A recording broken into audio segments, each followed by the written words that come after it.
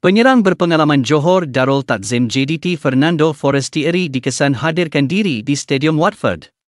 Pemain berusia 34 tahun itu merupakan pemain Harimau Selatan sejak tahun 2022 namun kurang beraksi tahun ini akibat kecederaan dan tidak dipilih di skuad Hector Bidoglio.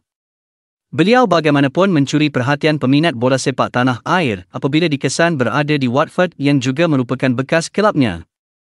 Tonggak berketurunan Itali Argentina ini beraksi bersama Watford sejak tahun 2013 hingga 2015 sebelum menyertai Sheffield Wednesday bekas kelab sayap terkenal Pahang Manuel Hidalgo malah mereka pernah di skuad sama di kelab Liga Bawahan England itu.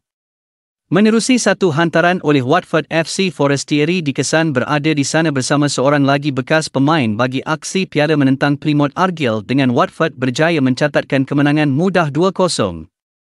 Beliau menerima sambutan hangat dan sempat menyampaikan sepatah dua kata kepada penyokong yang hadir di Stadium Jalan Bicaraj. Pasukan yang dikenali jolokan enggang itu kini dikendalikan oleh bekas legenda Manchester United Tom Sireveli manakala lawannya Plymouth dibimbing oleh Wayne Rooney yang semakin gempal. Status beliau bersama JDT masih belum dipastikan dengan kabar angin ke Saudi dan Argentina. Juga apa yang dapat gambarkan masa dapat gol pertama tu? Saya, bagi saya, bagi saya.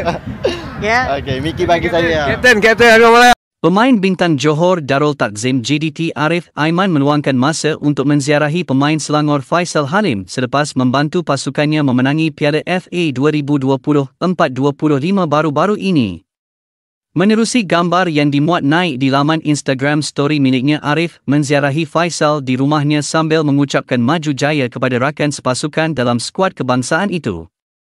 Hantaran itu kemudian disambut Faisal Halim yang balas menzahirkan ucapan terima kasih dan menggelarkan Arif Aiman sebagai Messi.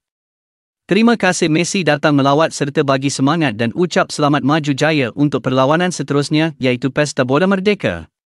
Ini adalah gambar pertama kedua-dua pemain itu sejak Faisal disimbah aset individu tidak dikenali di pusat memberi belah pada 5 Mei lalu. Sehingga kini pelaku jenayah itu masih belum ditangkap manakala Miki sudah kembali beraksi selepas menjalani proses pemulihan yang cukup panjang dan getih. Arif Aiman juga pasti tidak dapat lupakan perlawanan berdepan Kepulauan Solomon di Terengganu tahun lalu kerana Faisal Halim memberikan peluang Arif Aiman catatkan gol pertama untuk skuad Malaysia menerusi penalti. Ini menyebabkan Arif tidak gentar ambil penalti penting malah jaringkan penalti lawan negara besar Korea Selatan sebelum Faisal jaring gol selepas itu.